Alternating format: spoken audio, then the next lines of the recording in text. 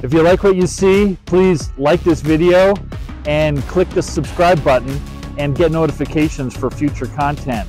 We're here for you and we're excited to share what we have going on. That's my snow angel's gone.